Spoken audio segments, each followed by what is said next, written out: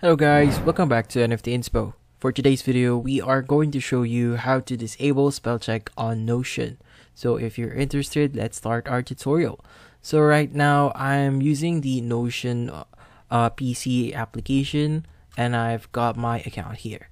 So I've just uh, typed in tutorial, but I misspelled it uh, intentionally. So uh, for you to actually disable the spell check, you just want to highlight that word and just right click on it and from here you'll see the disable spell check option and that should disable the spell, spell check for a specific uh, UI here. So if you want to enable it, just click right click on it again and you want to enable spell check.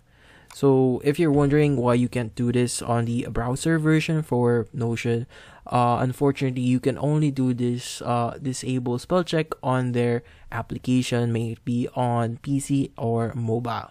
So hopefully this video was able to help you like and subscribe to NFT Inspo. Thank you for watching.